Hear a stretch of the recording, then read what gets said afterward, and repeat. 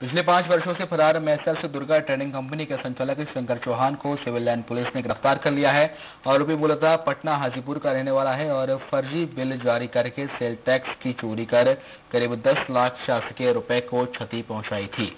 मामले की जानकारी देते हुए civil line TI Mohsin Khan ने बताया है कि वाणिज्य कर अधिकारी गोविंद सिंह अग्रवाल ने इस संबंध में रिपोर्ट दर्ज कराई थी।